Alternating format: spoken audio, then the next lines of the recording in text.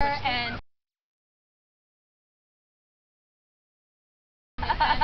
um, she was pregnant with him the whole time.